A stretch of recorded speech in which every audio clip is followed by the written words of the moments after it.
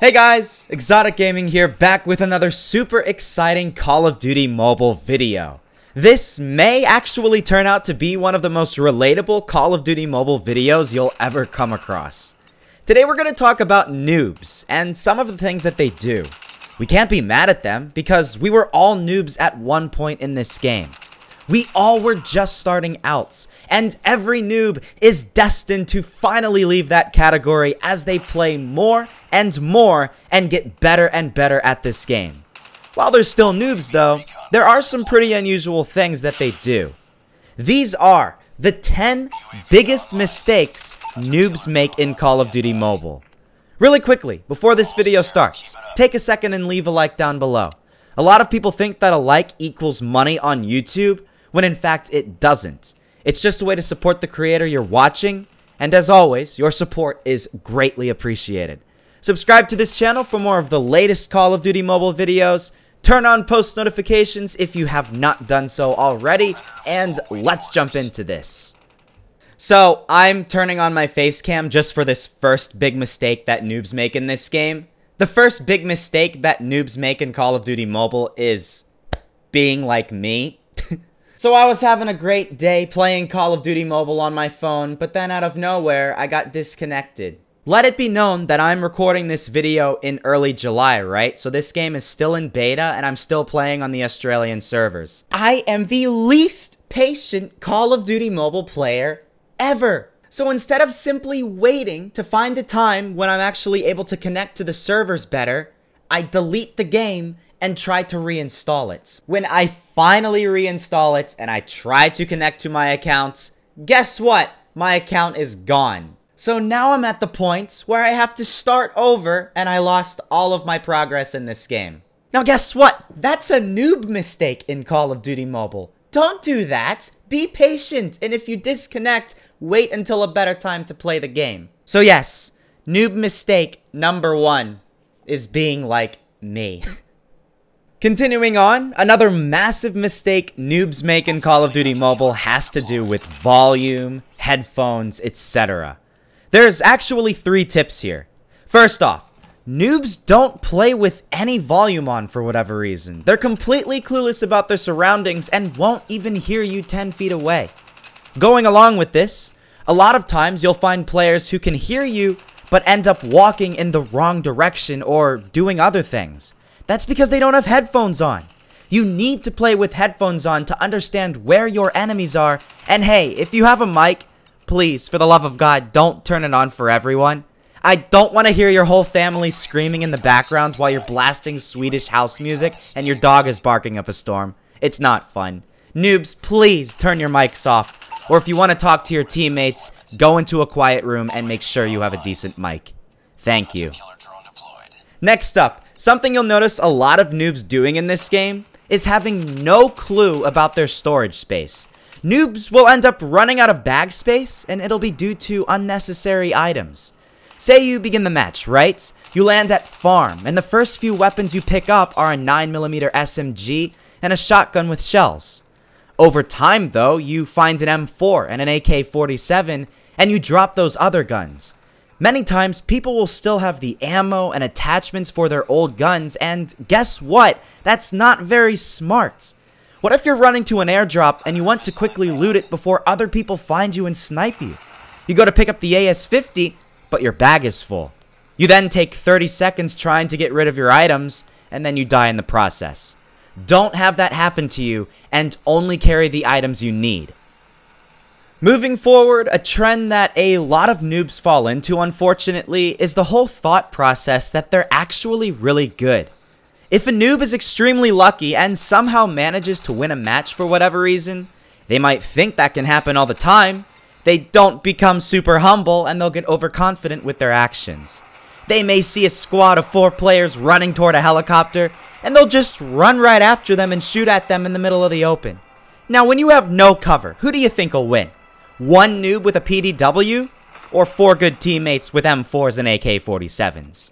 Now, how about when you get teamed up with a noob?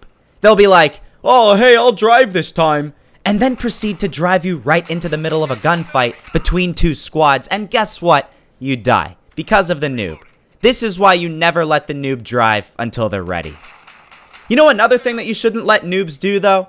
Landing far, far away from enemies.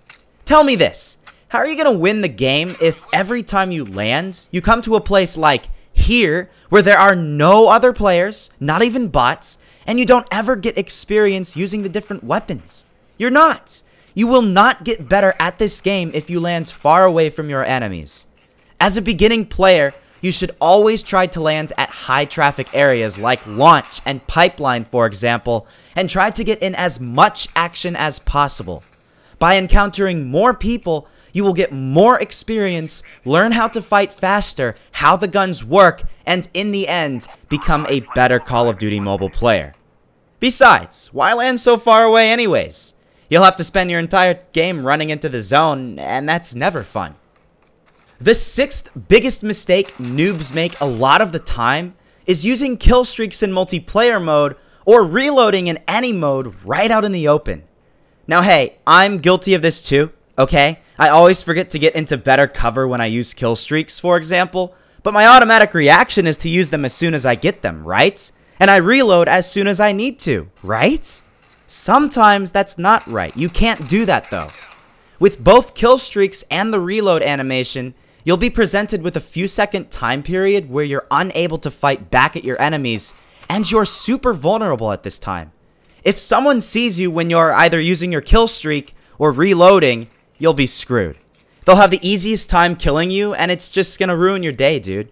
Just get into better cover when you reload, use kill streaks, or even heal up, and you'll win that many more times. Hey, but that's not all.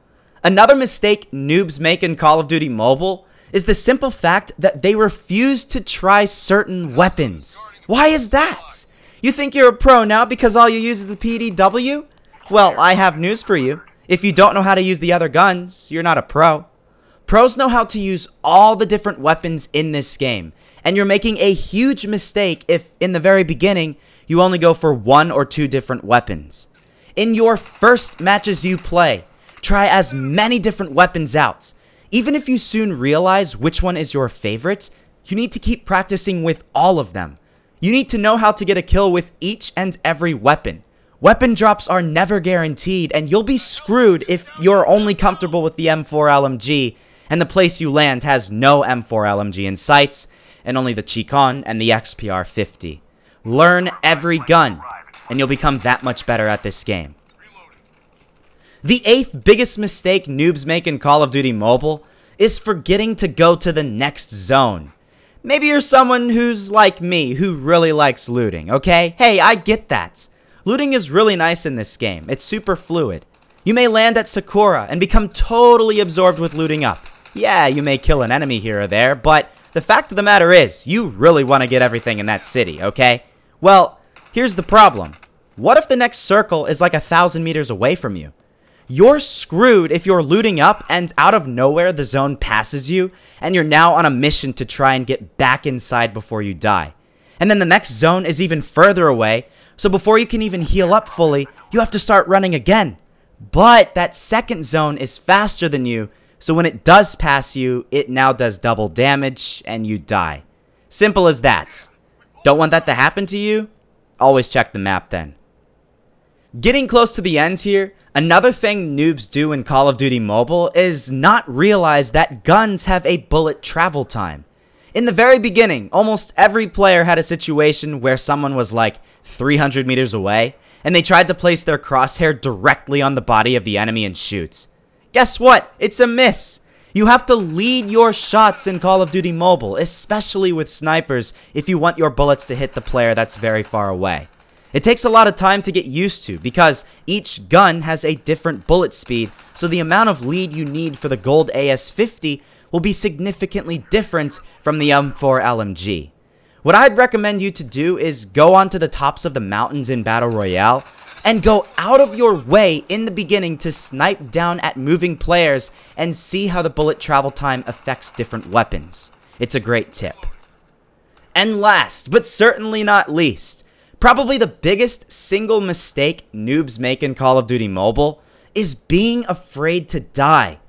When you start playing Call of Duty Mobile, it is crucial that you do not play competitive. You need to understand that you're just learning at this point, and don't be afraid to try different strategies to see which one works best for you. Don't camp in a building the entire match because that's not going to make you better at the game. You need a lot of action. Experience everything Call of Duty Mobile has to offer, and only after many matches of practice should you finally begin to play more stealthily and aim toward getting your first win. When you first start playing, never play for wins. Play for the experience. And this single tip is the absolute greatest tip I can give to anyone in Call of Duty Mobile. Use it, learn it, and live it. And hey, would you look at that? We're already finished with the video. I really hope you all got something out of this video and you found it to be a super helpful Call of Duty mobile video. If you are a noob in this game, I hope this video brought you that much closer to no longer being one. We are all destined to eventually becoming the pros we've always wanted to be. So let's start now. I hope you enjoyed this video, and if you did, I would greatly appreciate it if you left a like rating down below. Subscribe to my channel for more of the best Call of Duty mobile content, and turn on post notifications so you don't miss out on any future videos for this game. Thank you for watching, guys, and I'll see you all later.